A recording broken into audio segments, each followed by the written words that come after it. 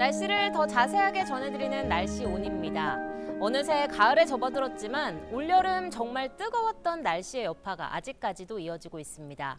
이번 여름은 평균 기온과 열대 일수, 폭염 일수 모두 1위의 기록을 갈아치우면서 가장 더웠던 한 해로 기록됐는데요.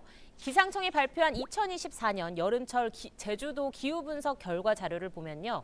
올여름 제주도 평균 기온은 26.3도로 역대 가장 높았던 것으로 나타났습니다.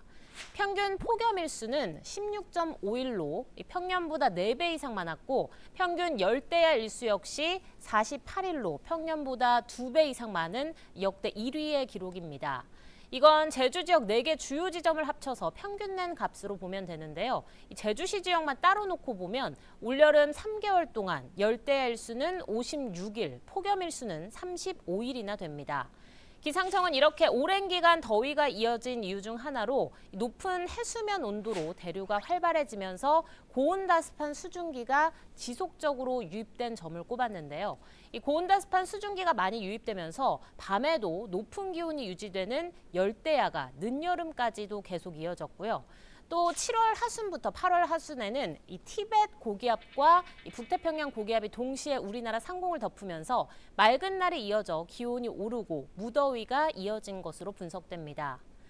다음 주는 흐린 날이 많겠지만 낮 기온이 30도 이상 오르면서 계속 더울 것으로 예상됩니다.